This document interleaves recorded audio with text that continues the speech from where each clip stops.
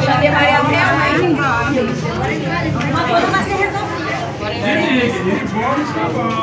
Bora que é pra entrar.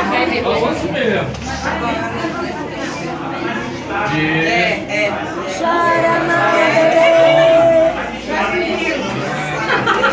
E aí, ó? Alô? Vai te fazer um favorzinho eu disse, Silvia.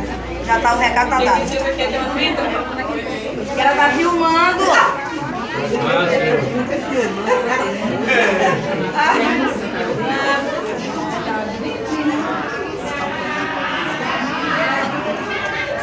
Entre o pessoal, vocês, ah, vocês vão estar no. Né, Silvia?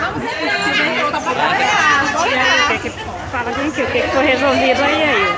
Não foi resolvido nada. O prefeito simplesmente mandou dizer que não, não vem para nos atender, para fazer a reunião com a gente. E nós decidimos permanecer aqui no prédio da prefeitura, ocupando até que o prefeito venha nos atender, nos dar uma, uma resposta em relação às nossas reivindicações, inclusive sobre os nossos salários que estão atrasados.